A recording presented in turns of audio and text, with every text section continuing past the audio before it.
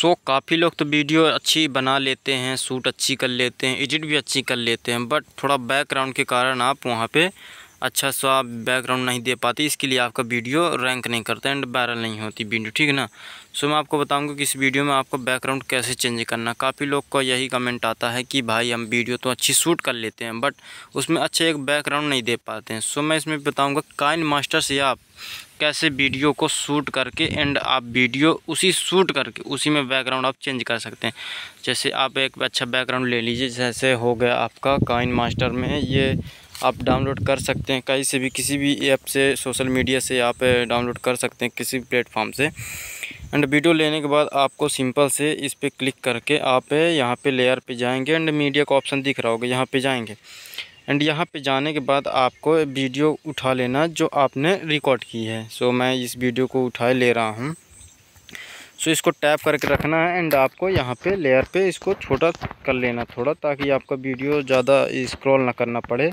And ये मैं करे ले रहा हूँ, एंड आपको भी इसी तरह कर लेना है, जैसे जैसे मैं बताता था। एकदम सिंपल सी स्टेप है, एंड आपको ज़्यादा इसमें कुछ करना नहीं पड़ता है। आपको सब मिल जाता है बड़े आराम से।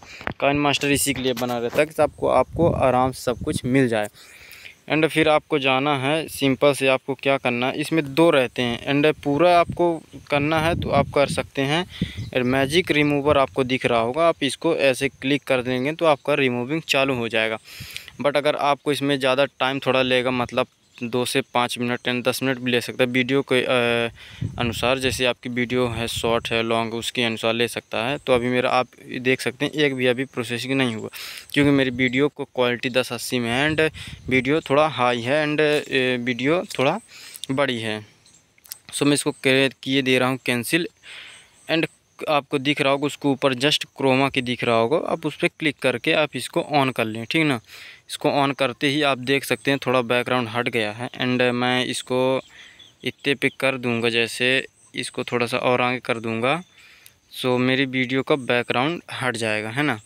सो ऐसा करने से आपको क्या होगा कि आपका जो वीडियो का बैकग्राउंड है, पीछे ग्रीन पर्दा, वो हट जाएगा, है ना? सो उसको हटाने के लिए आपको सिंपल सा आपको इसमें लेयर पे थोड़ा ध्यान देना पड़ेगा तो क्या क्या करना पड़ेगा, ठीक है ना?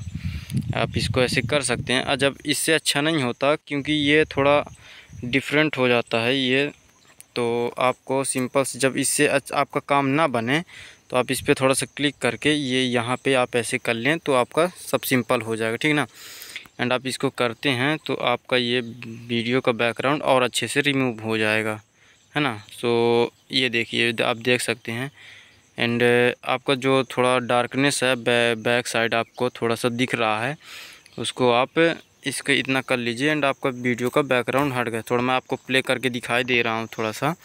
आप सुन लीजिएगा खुद। शूट करना कैसे वीडियो बनाना है।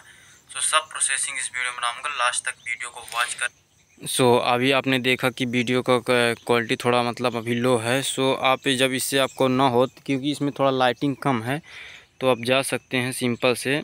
आप इस पर मैजिक रिमूवर पे आप जाके इसको पूरा होने दें एंड जब ये पूरा आपका हो जाएगा तो आपका वीडियो का जो पूरा जो थोड़ा थोड़ा दिख रहा वो भी हट जाएगा।